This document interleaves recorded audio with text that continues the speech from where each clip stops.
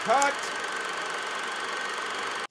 You know, when I was a kid and got a hold of a nickel, I thought I was rich. I didn't turn up my nose at pennies either. Today, some folks won't even bend to pick 'em up. You know, when you put flavors in cereal, you can make those flavors out of chemicals, or you can pick 'em off a tree. I got an idea for you. Wouldn't you like to have a nice warm feeling inside of you? Spoonful at a time. I'm going to tell you about something they can't measure with numbers, okay? All natural. Nothing added, nothing taken out. First when you eat it. Fresh. Good stuff. What's it taste like? Tastes like good hot Quaker oatmeal. And honey nuts, a nice new way to do it. You didn't have to swallow it whole. Well, at least you're getting a good breakfast. Heck, that's oatmeal on top of oatmeal. I love that. Well, you're going to love it even more, especially when you're not running on empty by 10 o'clock. she would eat peaches and cream oatmeal every day of the week, wouldn't you? Sounds good, too. But there's more. Then you feel good again, because it stays with you and helps keep you rolling all morning. What I do now is I take a real brisk walk each morning. Doctors are figuring out it's better for you than jogging. And I'll tell you something else they're just figuring out. You see the sign? Word's getting out. The sign wasn't there yesterday, but it's there now, and there'll be more of them tomorrow.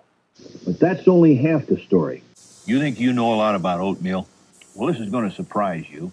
It's bad for you, like a lot of fat. But there's something in this box that I think is really worth prizing. Plastic toys, paper gizmos, stuff like that. I smell cinnamon toast. Oh, well. No, no, no, no. You let him figure this out. You do smell cinnamon toast. You know, doing the right thing isn't always a matter of what you do. It's sometimes what you don't do. What you don't do is fill up on bacon and eggs. The pie don't seem right for breakfast. now the doctors are safe. So why would you tap a tree? If you could fix oatmeal with no pot and no mess, would you? You may never have a chance to get high. It's the right thing to do. And right now's the time to do it. I'm not kidding. It's easy to get a youngster to love it. Steam them up and help keep them rolling through most of the learning they'll do all day. I'm gonna need another bowl, too. Here, eat this. Put a little steam in you. Yay!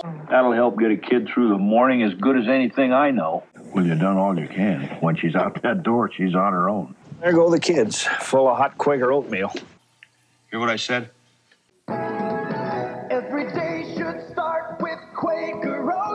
This just in, man going by the name Walrus Daddy is force feeding oatmeal to the locals downtown. He has numerous misdemeanors against him, and the police advise. Now, there's some good news for you. Of course, I've known that for a long time. Every day